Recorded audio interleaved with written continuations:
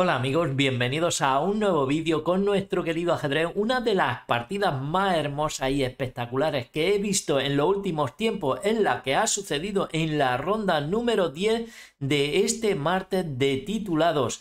Y el protagonista y genio de esta partida ha sido nada más y nada menos que el creativo genio Daniel Dubo. Vamos con este partidón porque realmente eh, os va a gustar, merece mucho la pena. Daniel Dubos con las piezas blancas y eh, Alexandr Simanov con las piezas negras. Dubo sale con E4, le responde Simanov con C6 con la defensa. Caro Khan. La partida se desarrolla con D4, D5, E5. Eh, Daniel Dubo elige la variante del avance, alfil F5, caballo F3, E6, alfil E2, caballo E7 y caballo BD2. Todo esto es teoría en esta variante del avance de la Caro Khan. Caballo de 7 y aquí Daniel Dubos pone seguro a su rey. H6 juegan las, las negras, también igual controlando la casilla G5. Y ahora Dubos se sale un poquito de las líneas principales de la variante del avance y juega torre E1. Deciros que caballo B3 es la jugada más empleada, está mirando el punto C5 para que las negras no rompan en ningún momento, G5 suelen jugar las negras con la idea igual de G4 tocando ese caballito y aquí las blancas reciclan este caballo eh, por la casilla por la casilla de 3, las negras a veces también juegan dama C7 preparando el enroque largo, no obstante no se juega de esta manera, sino que Daniel Dubo juega con torre 1 y pone a mirar en la distancia a esa torre al rey por rayo X. Y me diréis, eso no es muy importante porque hay muchas piezas en medio. Sí, pero a veces suelen suceder eh, cosas increíbles en este tipo de posiciones donde hay una pieza apuntando a un rey o a una dama por rayo X desde la distancia. Y fijaos cómo va a suceder todo el desarrollo de esta partida. Con A6 responden las negras, caballo F1 y ahora las negras rompen. Temático en este tipo de posiciones. C4, también Daniel Dubos pone otro peón en el centro. D por C4 y caballo E3. Pues tocando el peón de C4, Daniel Dubo espera recuperarlo antes o después. Aquí juegan alfil E4, de esta manera el alfil que ha quedado por fuera de la cadena de peones se activa mucho. Fijaos que actividad tiene este alfil de las negras, parece muy peligroso. De hecho, es un buen alfil ahora de ser el alfil malo de la película. Caballo de 2. Aquí Daniel Dubo ataca al alfil y ataca eh, pues con todo ahí, con todo el material para recuperar su peón. Tras alfil C6, Daniel Dubo recupera su peón. Y cuidado aquí en esta posición porque ¿qué es lo que amenazan aquí las negras? Ya supongo que lo habéis visto todo. Imaginad que ahora las negras juegan una jugada como B5 atacando a ese caballo. Pues ese caballo es el amo de la pista, el jefe de la discoteca y el dueño del bailoteo. Caballo de 6, bonito mate aquí. Eh, se produciría en la jugada número 13. Brutal. Daniel Dubo ahí planteando ya sus amenazas en plena apertura. Así que las negras ven eso y juegan caballo de 5, de esta manera le abren la acción al alfil para que controle el, salto del caballo y Daniel Dubo lleva su alfil también a la gran diagonal eh, metiendo mucha presión sobre, sobre el centro. Y aquí viene quizá el error, bueno, quizá no, es el error más grande de la partida. Las negras juegan caballo B6 y desbloquean la posición para que las blancas ataquen. Y ya recordáis qué pasa, que el rey está en el centro y se producen muchísimos temas tácticos que Daniel Dubo va a saber explotar con su creatividad. Aquí era mucho mejor dejar la posición central bloqueada y jugar el otro caballo a B6. No obstante, las blancas también están muy, muy bien. Eh, pero la jugada que realiza el negro permite a la blanca, a Daniel Dubo, jugar con D5 fuertemente en el centro. Aquí capturan con E por D5 y se empieza a, aclarar el bosque, la hojarasca se empieza a apartar, eh, ese rey cada vez tiene, digamos, de alguna manera menos piezas que están en el... Eh, dificultando eh, los rayos X estos. Y como os digo, juega con D5 y aquí eh, capturan, las negras capturan, por lo tanto un peón menos que hay en la posición donde la torre mira al rey. Eh, retirar aquí el alfil, por ejemplo, a una casilla como B5 no es nada bueno, que parece, oye, estamos atacando dos veces a ese caballo y parece que podríamos hacer algo. Pero es que D por C6 muy potente, tocando al caballo también con jaque, tocando en F7, tocando en B7.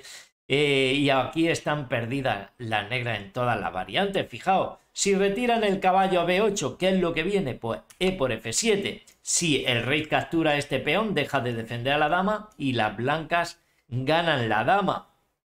Por lo tanto, eh, pierden la partida y alguno que esté diciendo y rey E7 sigue defendiendo a la dama, pero es que viene caballo F5, ataca al rey y ya no puede defender a su dama porque Todas las casillas están controladas, por lo tanto, tras rey e6, dama por d8, esa dama acaba, cayendo.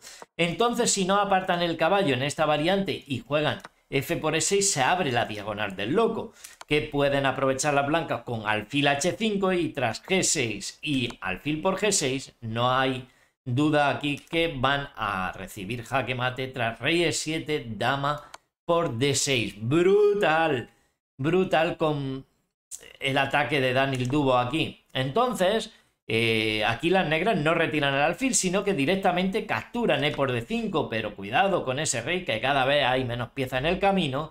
Y la partida siguió con ese. Igualmente, Daniel Dubo quiere abrir la posición sobre el rey y están tocando el caballo, están tocando el peón central, se está abriendo la posición, están tocando en F7 y aquí juegan caballo F6 apartando el caballo de la amenaza del peón.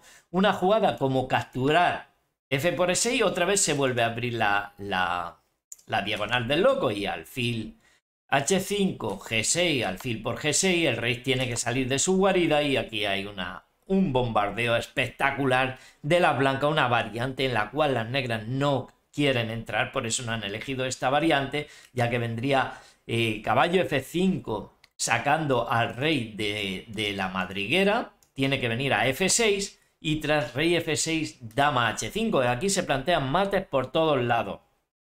Tanto si captura un caballo como si capturan otro, hagan lo que hagan, aquí están muy perdidas. Aquí si eh, E por F5 viene dama por F5 eh, y fijaos la torre ya que acción tiene el rey tiene que irse a G7 y dama F7 mate.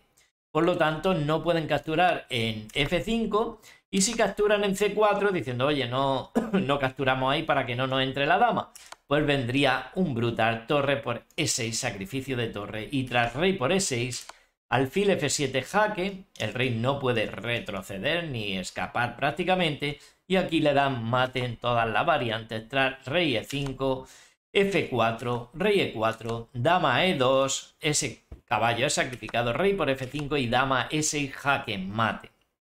Así que, viendo todas estas variantes de la diagonal del loco, las negras no capturan ese peón, sino que retiran el caballo de la amenaza y juegan caballo F6. Entonces, aquí Daniel Dubo juega caballo E5 saliendo de la amenaza del peón y amenazando caballo F7, ataque a la dama y a la torre ganando material. Y aquí las negras juegan F por E6 diciendo, oye, ya no tienes el soporte, caballito, ¿qué pasa? Pero entonces otra vez se ha vuelto a abrir la diagonal del loco y Daniel Dubo ya está dispuesto a meter el, el, el alfil por la gran diagonal. Aquí jugaron rey E7, comerse ese caballo es dama por H5 y el mate va a llegar tras esta jugada, por ejemplo, rey e7, es que no, no, hay, no hay ningún tipo de escapatoria, rey e7, mm, mm, bueno, aquí ganan varias, o, bien eh, hasta caballo f5 ganan, pero rey d6 y aquí están totalmente perdidas, con caballo, caballo f5, jaque, e por f5, y es una brutalidad, ¿no? Caballo C4, D por C4, sacrificándolo todo. Y alfil F4. Brutal, brutal, brutal de necesidad. Caballo por H5, eh, que no la había analizado, la he analizado aquí a, golpe de vista ahora mismo. Eh, pierde. Es por eso que aquí las negras mueven el rey, rey E7 y ahora el remate brutal con... Eh, le metió caballo F5 jaque. Fijaos que el rey no puede ir a ninguna casilla. Brutal, Daniel, Daniel Dubos, cómo crea ajedrez. Qué bonito que es el ajedrez en manos de este tío. Tienen que aceptar ese caballo. Aquí lo aceptan. Y entonces ahora sí que han conseguido las blancas el objetivo de abrir toda la columna. Y se enfrentan al brutal caballo por C6 jaque doble de torre y caballo y además doble a dama. Brutal, aquí las negras se rinden puesto que cuando muevan el rey cae la dama, aniquilando totalmente la posición de las negras. O sea, una partida que podríamos llamarla inmortal tranquilamente. Una partida que yo he visto examinando las partidas del martes titulado y he dicho, vaya brutalidad, vaya tremenda partida que se ha marcado aquí Daniel Dubot. Como digo, espero que os haya gustado. Si ha sido así, no olvidéis apoyar el vídeo con un me gusta. También en la descripción del mismo estoy dejando el enlace a la página web de chess.com para que os registréis y podáis jugar al ajedrez. Y sin nada más, por aquí os dejo otro par de vídeos que sé que os van a encantar. Un gran saludo para todos, amigos.